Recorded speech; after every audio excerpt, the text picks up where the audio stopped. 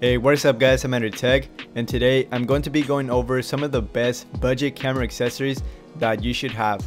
So at number one, it is very important to keep your lens clean away from dust and stuff like that. So for this, I recommend this air blower.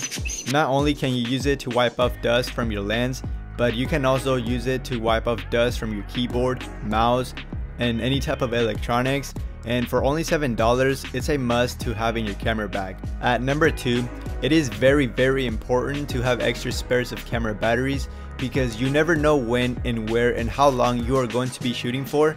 So I just recommend you to have at least 3 total batteries. Lighting is very important to make a good high quality video and people just forget about lighting a lot. And in my opinion, lighting is what makes a video professional and good high quality looking. And for that, I recommend the Amaran AL M9 LED from Aputure. So this little tiny LED is around 40 bucks on Amazon and I have to say it's worth every single penny. So this is great if you want to film at night. Like sometimes I film music videos at night for clients and this little tiny LED has saved my life so much. I'm not gonna go into too much in depth about this LED light, but if you guys want to see the full review that I did, make sure to click the link down below in the description so you guys can watch the full review of this little tiny LED. And finally, something that is a must to have is an external microphone for your camera.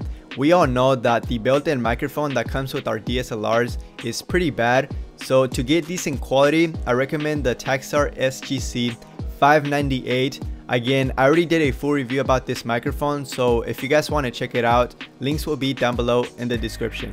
For around $50, this microphone sounds amazing and some people even say that this microphone sounds identical to the Rode VideoMic Pro, which is like 10 times more expensive than this thing. So yeah, this thing is pretty amazing and I mean if you're starting out, this microphone is a must and I still use it to this date when I'm doing A-roll. But yeah guys, that's gonna do it for this video. If you guys liked it, make sure to leave a like. Also comment down below which one was your favorite item out of all these.